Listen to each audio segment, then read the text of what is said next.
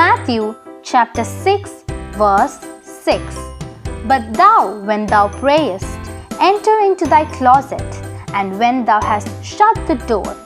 pray to thy Father which is in secret, and thy Father which seeth in secret shall reward thee openly.